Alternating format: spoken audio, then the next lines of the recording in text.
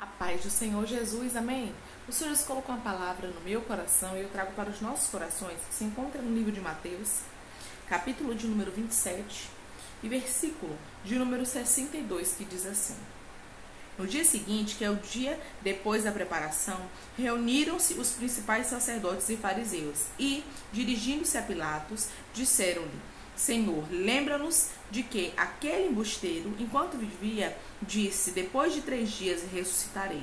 Ordena, pois, que o sepulcro seja guardado com segurança até o terceiro dia, para não suceder que vindo os discípulos e roubem e depois digam ao povo: ressuscitou dos mortos. E, é, e será o último embuste pior do que o primeiro.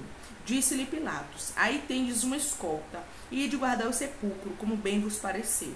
Indo eles, montaram guarda ao sepulcro, selando a pedra e deixando ali a escolta. Amém? Glória ao Pai, ao Filho e ao Espírito Santo de Deus por essa palavra nós vamos perceber aqui que esses homens estavam tentando invalidar a palavra de Deus. Esses homens estavam tentando paralisar aquilo, aleluia, que já estava escrito pelo Senhor. O que é projeto do Senhor, eu vou falar para você entender. Ninguém consegue invalidar a bacanta. O que é projeto do Senhor, ninguém consegue ofuscar. O que é projeto do Senhor, ninguém consegue paralisar. Estavam tentando paralisar a tua vida, paralisar os projetos de Deus na tua história, paralisar aquilo que Deus tem contigo, mas Deus está dizendo: nada poderá, aleluia, impedir o meu agir na tua história. Nada poderá impedir, amandarasto decanta, o que eu tenho para fazer na tua vida. A Bíblia diz que esses homens estavam querendo impedir aquilo que Deus já havia designado para a vida de Jesus. A Bíblia diz que eles colocaram escoltas de soldados. E além de colocar escoltas, a Bíblia diz que eles, aleluia, fecharam bem, eles lacraram o túmulo para que Jesus não saísse dali. Aleluia aleluia. No versículo de número 66 diz: Indo eles, montaram guarda, montaram guarda ao sepulcro, selando a pedra. Eles selaram para que ele não saísse, para que ninguém conseguisse tirar o corpo dele dali.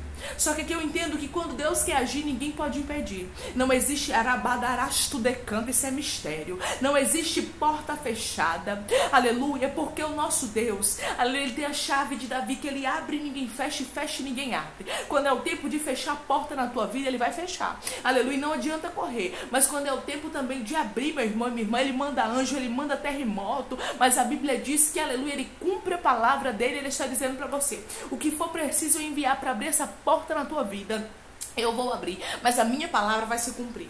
O inimigo estava tentando se colocar, aleluia, no meio dos teus projetos, dos teus planos, para que não acontecesse. Como fez com Jesus aqui. Esse povo estava tentando se colocar no meio. Esses homens religiosos daquela época estavam tentando paralisar o projeto de Deus. Mas a Bíblia diz que eles não conseguiram paralisar, e Deus está dizendo: pessoas estão tentando paralisar os, os projetos que eu tenho na tua vida, paralisar aquilo que eu tenho na tua história, mas eles não vão conseguir. A Bíblia diz que o anjo chega, vem um terremoto, o anjo chega chega. A pedra foi removida, irmãos, e Jesus ressuscitou. Eles não puderam fazer nada. Eles ficaram ali apavorados diante da cena. E Deus está dizendo: pessoas vão ficar apavoradas diante daquilo que Ele vai fazer na tua vida porque estão tentando impedir.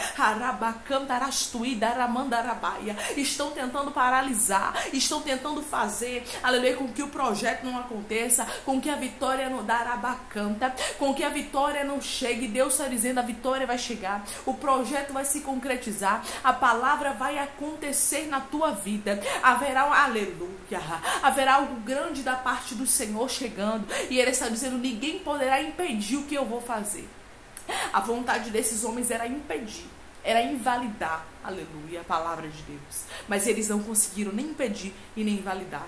Deus está dizendo: ninguém conseguirá impedir e nem invalidar os projetos que eu tenho contigo. Aquilo que eu falei vai se cumprir. Podem tentar selar pedra, pode colocar escoltas de soldados, aleluia. Mas Deus vai abrir essa porta. O Senhor é Deus que hoje abre portas na vida de pessoas, portas impossíveis, que o inimigo está tentando parar, está tentando travar para que você não entre, para que dará bacanta, para que você desfaleça na fé, para que você não suporte o processo e Deus está dizendo: hoje eu abro essa porta, viu? Hoje eu abro uma porta na tua vida. Existe pedra sendo removida hoje na tua história e Deus vai te entregar grandes vitórias. Deus está dizendo para você: eu não vou deixar com que a palavra que eu lancei sobre a tua vida seja, aleluia, envergonhada, que volte vazia, não. Deus está dizendo: não voltará vazia, encontrará cumprimento e não tardará. É tempo de que é tempo de palavras que Deus lançou na tua história, encontrar cumprimento e você verá o grande agir de Deus a partir de agora. Amém? Deus está dizendo para você. Não pare, não desista agora, porque grande é o que Deus vai fazer. Que Deus te abençoe.